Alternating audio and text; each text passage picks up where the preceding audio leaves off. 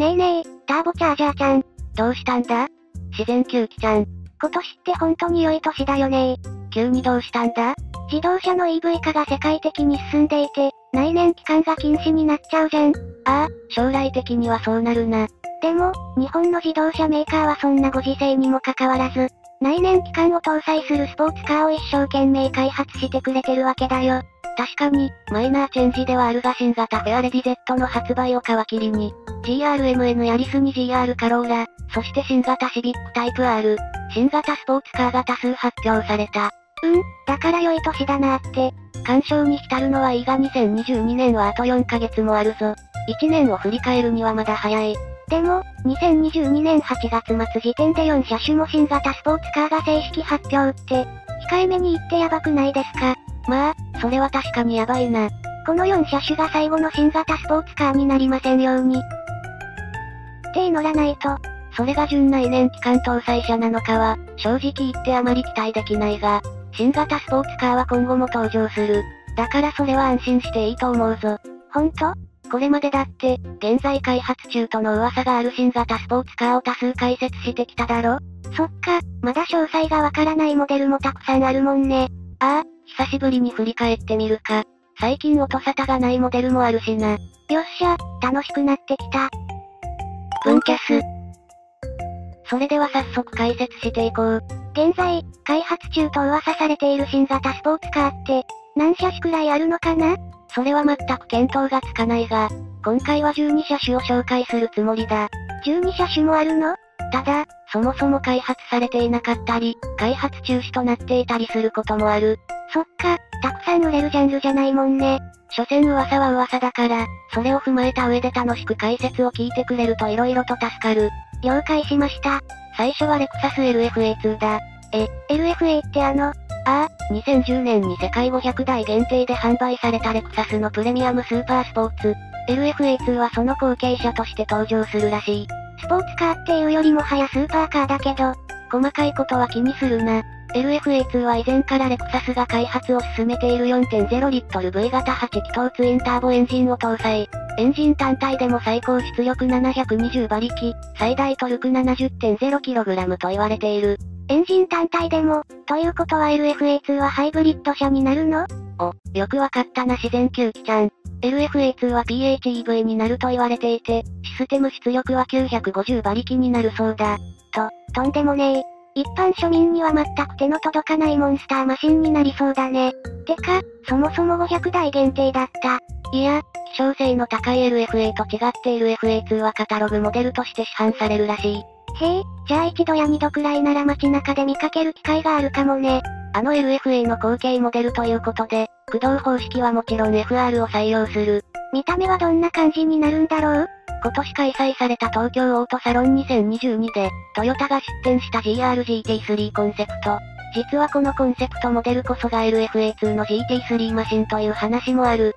それならなんでレクサスブランドではなく GR として発表したのかという話にはなるが、まあ、真相は定かではないがもしこの話が真実だとすれば、LFA2 は GRGT3 コンセプトに近い姿を採用することになる。めっちゃかっこよくなりそう。そして、レクサスにはもう一つ開発中と噂のスポーツカーがある。な、なんですとそれがエレクトリファイドスポーツコンセプトだ。あ、この車見たことある。トヨタが EV を一斉に発表した時に後ろの方で鎮座していたモデルだね。そうだ、この車は豊田明夫社長が開発を進めていると明言している。え、じゃあ開発中止にならない限り市販化はほぼ確実ってことじゃん。レクサスが LFA の開発を通じて培ったものを受け継ぐスーパースポーツ EV となる模様だ。やっぱり EV スポーツになるんだね。でも、パワーユニットは違うけど若干 LFA2 と被ってるような気が。LFA2 はあくまで仮の社名としてメディアがそう故障しているだけで、その詳細は未だつかめていないはずだ。だから、LFA2 は LC や RCF の後継モデルという可能性もあるし、あるいは、エレクトリファイドスポーツと LFA2 はパワーユニットが異なるだけで、実は同一の車、ということも考えられる。いくらトヨタでもスーパーカーを2車種同時進行で開発しているとは思えないし、後者の可能性も捨てきれないな0 100キロ加速はなんと2秒台前半で、全固体電池を採用することによって一充電航続距離は700キロとなるそうだ。海外メーカーに負けないように頑張ってほしいところだね。次はトヨタが開発中と噂されている新型スポーツカー3車種を解説する。え、3車種もあるの？スポーツカー開発しすぎでしょ。そりゃ私たちは嬉しいけどさ。まずは何年も前から復活を期待されている新型 MR2 だ。確かに随分前から噂があるけど最近は全然続報を耳にしないね。ちゃんと開発は進んでるんだろうか。ご存知の通り、MR2 という車はミッドシップスポーツカーで、その社名を踏襲する以上、新型 MR2 もミッドシップレイアウトとなるだろう。まあそれは当然だよね。MR2 なのに駆動方式が MR じゃないって普通に考えて意味わかんないもん。これまでに入手した情報を振り返ると、新型 MR2 は他社との共同開発になり、その気になるパートナーはポルシェかロータスではないかと噂されていた。ポルシェもロータスも未だに MR 社の開発を続けているし、その2社が共同開発相手ならトヨタも心強いだろうね。結局、共同開発相手の詳細は不明で、どんなスポーツカーになるのかは一切明らかになっていないものの、登場時期的に、パワーユニットはハイブリッドである可能性が高い。純内燃期間はさすがに厳しいか。しばらく続報は途絶えていたのだが、昨年末にとある車が発表されたことで、また新しい噂が立つようになったんだ。とある車、エレクトリファイドスポーツコンセプトと同じタイミングでトヨタがお披露目した、スポーツ EV というコンセプトカーのことだ。ああ、この車のことか。もしかして、その新しい噂っていうのは新型 MR2 イコールスポーツ EV というやつ？ビンゴだぜ、自然吸気ちゃん。現時点でそれを裏付ける情報はないし、あくまでメディアの予想に過ぎないが。うーん、可能性としてはあり得るかも。でも、MR2 が EV として復活することに納得できないファンは多いんじゃない？今の段階だと EV スポーツカーって正直、楽しいイメージがないし、中にはそういう人もいるかもな。だが、さっき言った LFA2 のような形で内燃機関車と EV が併売されるとしたらそれなら納得できる人が多いかも。スポーツ EV が新型 MR2 を名乗るのか、それとも、全く別のモデルとして現在も同時進行で開発されているのか、真相が明らかになるのが楽しみだな。トヨタが開発中と噂されている新型スポーツカーは3車種でしょ？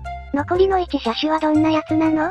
残りの1車種はトヨタとダイハツ、スズキが共同で開発を進めている新型スポーツカーで、その車も新型 MR2、スポーツ EV と同じくミッドシップレイアウトを採用するそうだ。三社共同開発ってすごいな。しかもまたミッドシップ？企画全体を取り仕切るのはトヨタだ。スズキはエンジンなどの開発担当だが、軽量化技術の提供も惜しまないらしい。そりゃ頼もしいね。ダイハツは何するの？得意の樹脂外反技術を活かして生産コストをなるべく低減しつつ、同一のスポーツカーでありながら3社で異なるデザインを採用する。コペンみたいな感じかな？ダイハツとスズキと手を組むってことは、当然小型のスポーツカーになるんだよね。だろうな。実際、そのパワーユニットは1.0リットルクラスでマイルドハイブリッドと予想されている。軽量コンパクトな MR スポーツカーか。いくらなんでも最高すぎじゃない。しかも、この車は GR86 よりも手頃なエントリースポーツカーになるそうだ。な、なんだと。小型 MR スポーツカーを大衆向けの価格でって、初代 MR2 の再来じゃん。実はそうなんだ。なので、この新型 MR スポーツカーが新型 MR2 である可能性も捨てきれない。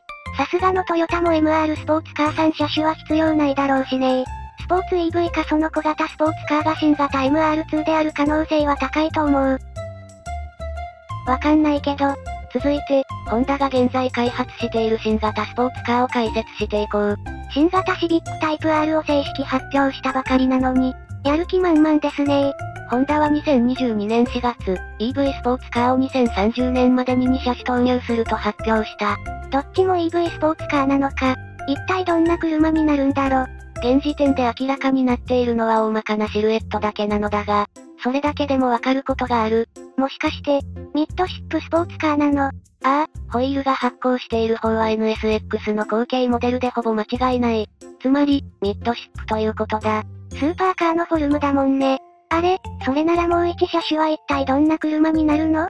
もう一車種はミッドシップではなく FR スポーツカーだと予想している。メディアはラグジュアリー性の高いスポーツカーになると言っているが、今のところは何とも言えないな。MR 車っぽい感じもするけど、ラグジュアリースポーツなら FR の方が色々と都合良いし、FR 車の可能性が高そうだね。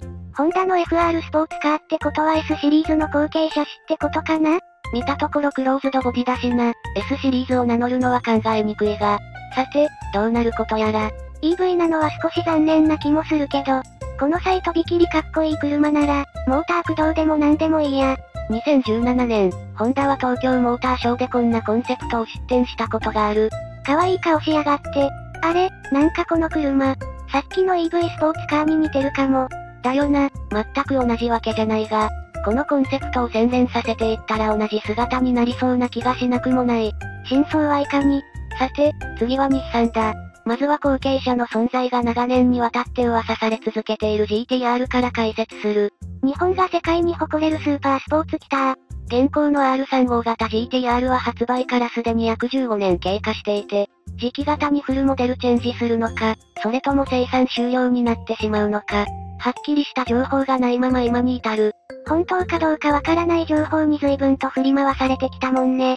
だが、比較的最近の情報をまとめると現行 GTR は最後のマイナーチェンジが控えていて、そのモデルこそが GTR の長い歴史の中で、最後の内燃機関搭載車となる可能性が高い。ついに GTR も内燃機関とたもとを分かつことになるのか。そう遠くないうちに実施されるマイナーチェンジは新型フェアレディ Z 開発と同じ手法だ。エンジンや足回りを小規模改良しつつ、内外装デザインを大幅にアップデート。実際はマイナーチェンジだけど、フルモデルチェンジ並みに大幅な改良が施されるんだね。ああ、そうすることで現行 GTR をあと数年販売することができるので、その間に次期 GTR の開発を進めて、2028年頃にデビューさせる予定だ。その時期 GTR のパワーユニットはどうなるの？内燃機関車の販売禁止が目前に迫っている頃なので、当然、モーター駆動になる。GTR も EV になっちゃうんだね。まあ、こんなことは言いたくないが日産は正しい選択をしていると思う。これまで培ってきた EV 開発技術を活かして、最高のスーパー EV を開発してくれるはずだ。圧倒的な速さで否定派を黙らせてくれ。日産の EV スポーツカーといえば、結局シルビアはどうなってるの？少し前に EV として復活する、みたいな噂があったような。ちょうどこれから話そうと思っていた。日産の欧州部門が初代シルビアをモチーフにした新型車のスケッチを公開したことは記憶に新しい。今回解説している車種の中だと市販化の可能性は低い方だが、一応、2022年6月頃に一部のメディアが新型シルビアは2024年発売と報道した。え、もうすぐじゃん。自然球機ちゃんの言ったように、新型シルビアは EV になるらしい。アリアが採用するプラットフォームを有用して、4WD システム e フォースを搭載する模様だ。あれ、FR じゃなくて 4WD なの？どうやらそのようだな。うーん、色々と不安ではあるけど、安くてかっこよくて運転が楽しい、大勢の人を魅了する車だと良いね。次はロータリーエンジンが搭載される、マツダの新型スポーツカーについてだ。新型 RX7 のことだね。RX7 を踏襲するのか、RX9 になるのか、はたまた全く別の社名となるのかはわからないが、便宜上新型 RX7 とする。新型 RX7 の開発が噂され始めたのは RX ビジョンが発表されてからだよね。あれから約7年が経ったけど、開発は進んでいるんだろうか。新型 RX7 も情報が錯綜していてな、何が真実で何が嘘なのかわからない。当初は純内燃機関車のはずだったが、今はロータリーハイブリッドやレンジエクステンダー EV など、モーターと組み合わせる方向で開発が進められているようだな。うーん、やっぱりこのご時世にロータリーのみは厳しいよね開発自体も最初はマツダ単独で進められていたはずなのだが、いつの間にかトヨタと協力して開発中、なんて話になっている。それは共同開発ってこと？いや、共同開発と呼べるほどトヨタが口出しをしているわけではないようだ。じゃあ、一体何を協力するの？新型 RX7 は最新の情報だと、トヨタのプラットフォームを使って開発が進められているとのことだ。また、その他の部品も全てではないがトヨタのものを使うことになるらしい。共同開発と言われながらも、実際は別々で開発していた。GR スープラみたいな感じか。当初とは計画が大幅に変わってるんだね。暗礁に乗り上げてないといいけど、ただ、マツダは過去に新型 RX7 で採用するとしか考えられない特許を多数出願しており、その中にはスペースフレームなども含まれる。スペースフレームはスーパーカーに採用例の多いフレーム構造で、もし新型 RX7 に採用しないとなると、何のためのスペースフレームなのか。当初の予定通り、マツダ単独で開発している可能性もあるのか。話が2点3点しすぎて頭が痛くなってきたよ。まあ、少しずつだとしても開発は進んでいると思いたい。RX ビジョンで世界中の人に夢と希望を与えたんだから、その責任は取ってもらわないとね。続いて、スバルが開発している 4WD スポーツカーを解説するぞ。え、何それ？新しい車を開発してるのは嬉しいけど、それよりも WRX-STI の開発が先じゃ。待ってる人、大勢いるんだけどなそれについてはノーコメントだ。2019年、スバルはトヨタとの提携を強化してトヨタの関連会社の仲間入りを果たしたが、その際、プレスリリースには、最高に気持ちの良い AWD モデルを共同で開発といった文言があったんだ。ふむふむ、それでこれにより、現在開発中の 4WD スポーツカーはトヨタと共同開発している可能性が高くなった。仲良しで草。その 4WD スポーツカーはどんな車になるのかな？WRX よりもコンパクトなホットハッチで、下手をすれば WRX-STI を超える車になる。そ、それはすごい。ただし、この 4WD スポーツカーは1年以上情報が途絶えているため、現在、どうなっているのかは不明だ。WRX-STI なき今、スバルは自慢の 4WD 技術を最大限アピールできる車がない状態だよね。新型 4WD スポーツカーが WRX-STI の後継として、スバルを引っ張っていく存在になると良いな最後に解説する新型スポーツカーは、スズキの新型スイフトスポーツだ。庶民の味方来たー。新型スイフトは2023年中に登場予定だが、当然、新型にもスイフトスポーツはある。最大の変更点は全車ハイブリッド化されて、純内燃機関搭載車が廃止されてしまう点だ。それじゃあ、純内燃機関車に乗りたい人は現行スイフトスポーツを選ぶべきなのかな？そういうことになる。ただ、ハイブリッド化とは言っても所詮はマイルドハイブリッドなので、ストロングハイブリッドのように乗り味が大きく変わることはない。マイルドハイブリッドはあくまでエンジン主体で、モーターは脇役だもんね。その通りだ。新型スイフトスポーツが搭載するのは1.4リットル直4ターボプラス 48V マイルドハイブリッド。パワー感は現行スイフトスポーツと同程度かわずかに向上するだろうが、マイルドハイブリッド化による車両重量の増加が懸念される。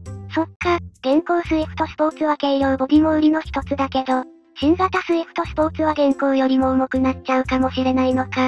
ああ、当然対策はしてくるだろうからどこまで軽くできるのか楽しみだな。そうだね。これで全12車種の解説が終わったが、気になるスポーツカーはあったか？うーん、全部。まったく、欲張りなやつだな。今回解説した12車種のうち、7車種はさらに詳しく解説した動画もあるんだ。一部情報が古いものもあるが、気になる人は参考にしてくれ。この動画の概要欄に URL を貼っておくね。みんなは気になるスポーツカーがあった？